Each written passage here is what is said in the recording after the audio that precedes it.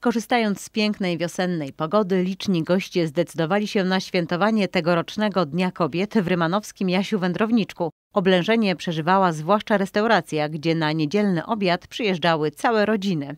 Pogoda piękna dopisuje, piękne dziewczyny są. Zaprosiliśmy, przyjechaliśmy aż z Sanoka, także jest fajnie. A czy tutaj jesteście częstymi bywalcami? E, Częstymi może nie, ale jak tylko przejeżdżamy, to wstępujemy. bardzo dobre jedzenie, dużo, tutaj bywam często zawodowo, także miejsce znam od tej bardzo dobrej strony, jest naprawdę fajnie, super. Dodatkową atrakcją było spotkanie autorskie pod hasłem Kobieta o kobietach. Jego bohaterką była pisarka, dziennikarka i scenarzystka Magdalena Zimny-Luis.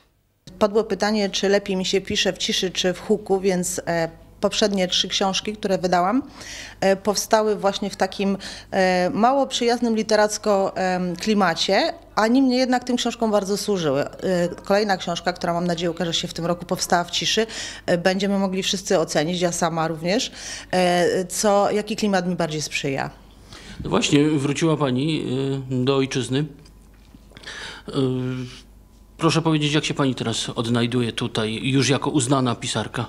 E, Tak, przede wszystkim się nigdy nie zgubiłam, bo mimo, że mieszkam, dwu- mieszkam 23 lata w Anglii, 2 lata w Stanach Zjednoczonych, czyli właściwie całe dorosłe życie spędziłam poza Polską, jednak nigdy tego kontaktu z Polską, e, tej pępowiny nigdy nie odcięłam, więc e, wracałam w znane, bardziej niż nieznane i po roku pobytu w, e, po, mieszkania w Polsce takiego stałego e, mogę powiedzieć, że dokonałam naprawdę bardzo dobrego wyboru. Czuję się, czuję się spełniona i czuję się, w, e, w, znaczy podjęłam tę decyzję w odpowiednim momencie, bo może 10 lat temu by to nie było możliwe, a teraz, no nie wiem, może to jest kwestia starości, że wszyscy wracamy na stare śmiecie pod koniec życia.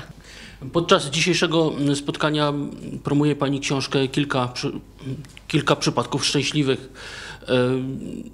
To rzecz traktująca o roli przypadku w życiu indywidualnym? Tak, taki efekt motyla, który mnie bardzo fascynuje, że czasami e, em, decyduje o naszych losach to, o której wyjdziemy z domu, czy skręcimy w prawo, czy w lewo, czy pojedziemy pociągiem, czy autobusem, osoby, które spotykamy. E, zresztą tutaj ta książka zaczyna się od takiego zdania, które e, bardzo, bardzo, bardzo często jest e, cytowane, że wszystko, co nam się przydarza, zaczyna się jakąś tam małą kropką na czarnym lub białym tle. E, I jest to troszkę, jest ta książka o tym właśnie, o tej sile przypadku, o tym efekcie motyla, e, ale również jest to książka mm, o trochę tragicznych losach Polaków e, w Anglii, znaczy nie trochę, tylko bardzo, bo, bo, bo, bo zresztą pierwsze zdanie ujawnia, że, że będzie to, że będzie toczyła się przynajmniej wokół jednego zabójstwa niewyjaśnionego. I drugą rzeczą wartą podkreślenia jest to, że pisząc tą książkę nie miałam planu powrotu do Polski, absolutnie, a bohaterka główna Emma Duda, policjantka angielska, z takich czy innych przyczyn nie będę zdradzać, e, wraca, e, decyduje się przeprowadzić się do Polski, z Anglii do Polski, więc e, jak gdyby wysłałam Emmę Dudę przed sobą, a jako forpocztę, a potem przyjechałam do Polski ja, także dosyć zabawnie to się wszystko skończyło. Książka zresztą jest zabawna, tak troszkę jak u Mrożka i straszno i, i śmieszno, mimo że opowiada o tragicznych sytuacjach, wydaje mi się, że uda, udało mi się zmieścić tam bardzo dużo humoru, mojego humoru. Już wkrótce w Jasiu Wędrowniczku następne imprezy, spotkanie z Afryką z Przemkiem Kosakowskim, a także tradycyjny już wielkanocny brunch.